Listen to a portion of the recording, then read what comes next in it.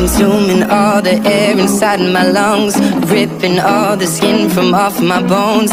I'm prepared to sacrifice my life, I would gladly do it twice. Consuming all the air inside my lungs, ripping all the skin from off my bones. I'm prepared.